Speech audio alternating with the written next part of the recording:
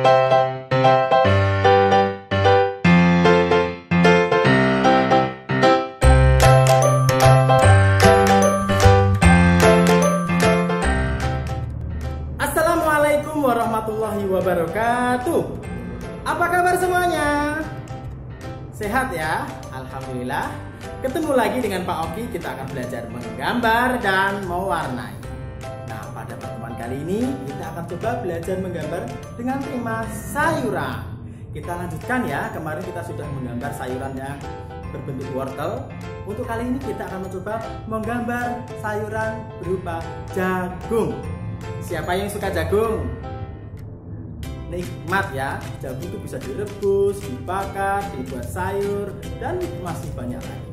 Nah, pertama cara membuat jagung yang sederhana, perhatikan ya. Kita buat garis seperti huruf U. Nah, seperti ini ya. U melengkung agak panjang. Kemudian kita garis turun. Nah seperti ini. Ke bawah. Kemudian satunya lagi. Masuk di tengah sini. Nah ya. Lalu di bawahnya kita buat huruf U lagi tapi lebih kecil ya. Bentuknya seperti ini. Nah. Nah ini gagangnya pegangannya ya. Seperti bunga ya. Belum jadi. Sekarang kita buat lagi di tengah sini. Perhatikan ya. Kira-kira agak tinggi. Nah kita turunkan. Nah kira-kira di sini ya. Hampir sama ketemunya.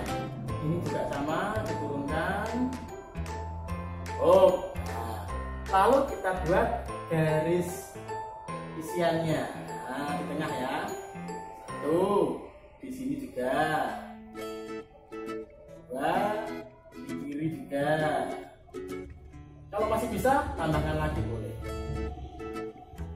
Nah garisnya bebas tapi jangan terlalu banyak ya. Nah boleh garis lurus-lurus boleh lompat-lompat. Kalian pilih sendiri ya. Nah kalau lompat-lompat begini lurus ya tiga garis lurus saja. Nah mudah ya. Buat garis lengkung-lengkung lompat sampai atas. Nah seperti ini. Mudah sekali tapi harus pelan-pelan. Nah, sedikit. Terus sampai atas terus. Nah lalu kita tambahkan sedikit pada bagian kanan kiri nah perhatikan ya ditarik sedikit ya di bagian sini turun naik lagi. Yang ini juga turun naik lagi. Nah seperti ini. Kita buat satu lagi di sebelah kanan boleh sebelah kiri boleh. Nah, caranya sama ya. Buat garis lengkung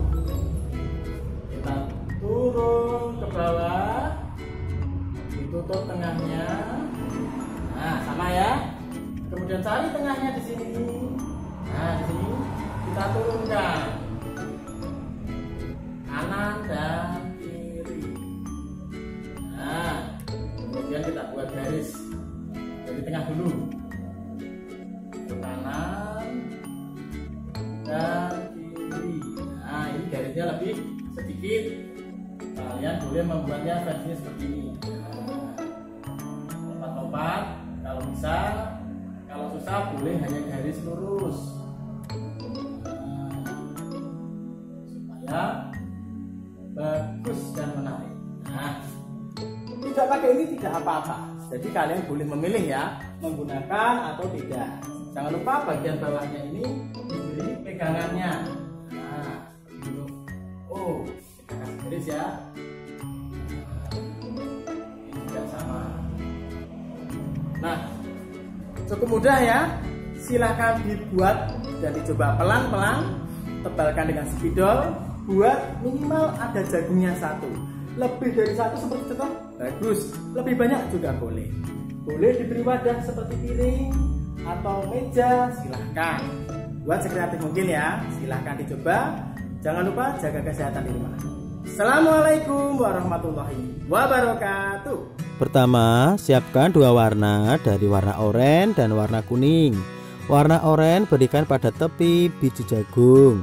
dan garis-garis lurusnya ya kemudian gunakan warna kuning ditumpuk dulu dengan warna oranye hingga rata semuanya tertutup tidak ada putih-putihnya lalu untuk kulitnya kita bisa menggunakan dua warna hijau ya yaitu hijau tua pada tepi semua tepi.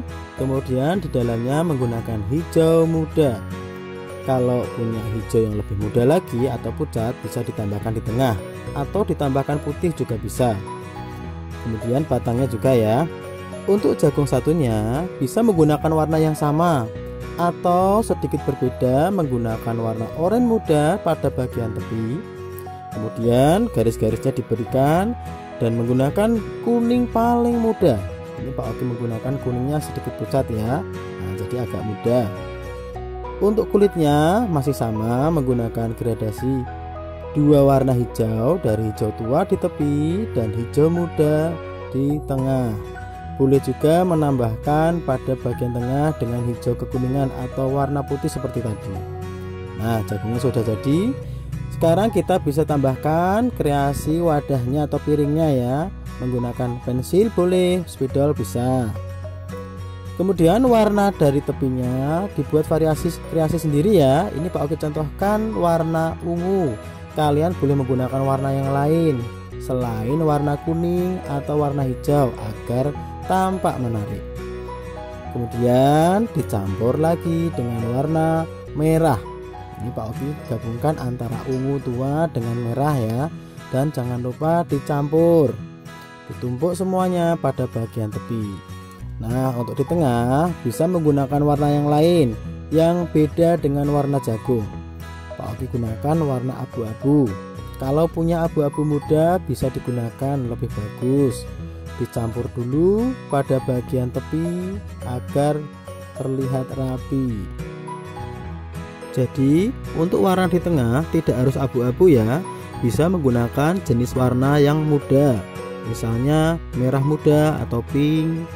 Kemudian menggunakan warna biru muda atau menggunakan warna yang muda lainnya jangan lupa mewarnai bagian tengahnya yang rapi ya. Tumpuk warnanya hingga tebal dan rata. Jangan ada putih-putihnya. Sampai halus. Kemudian pada bagian tepi di tengah bisa diberikan sedikit warna lebih gelap. Menggunakan abu-abu tua bisa atau sedikit hitam. Nah gambar ini sudah jadi. Silahkan dicoba pelan-pelan ya. Warnai jagungnya dengan warna yang benar Selamat belajar, jaga kesehatannya, dan jangan lupa tetap semangat.